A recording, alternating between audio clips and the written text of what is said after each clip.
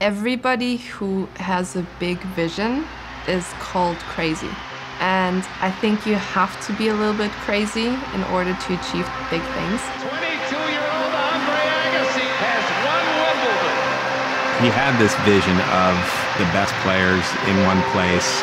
He saw the potential that that would have when no one else did. Iva Majoli of Croatia is the French Open champion.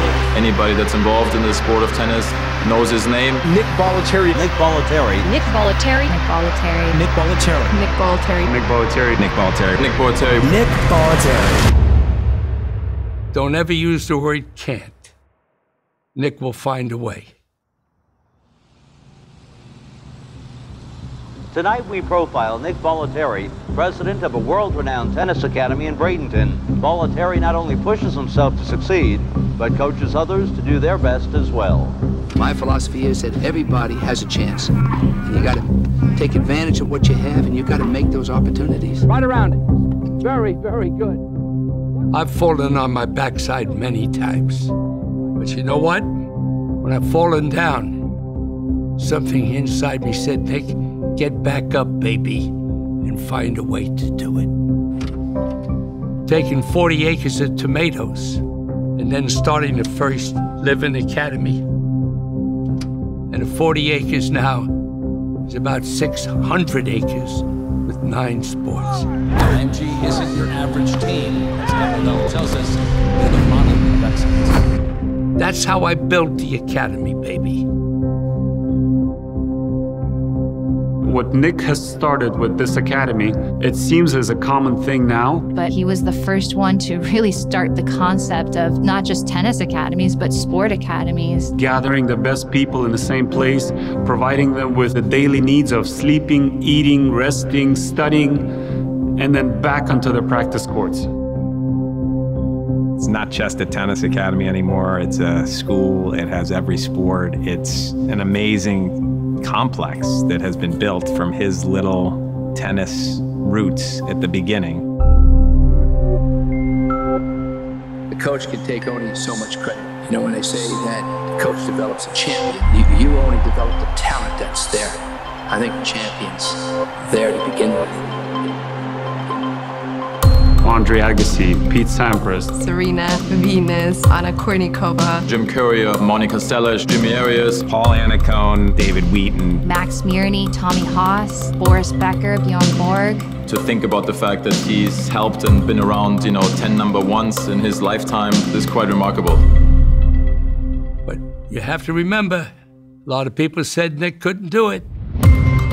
Whatever success I've had with the top players that I had, is to get to know the student and their background. I learned to know them. He has such a big heart and passion for the game, and he sees so many details, not only on your court, but even two, three courts further. And so you always felt like when he was around, there was an incredible type of presence. I think he just had a, a, nice ability to figure out the best way to motivate you to give your best. And in the end of the day, that's sort of the most important thing, really, that a coach can do.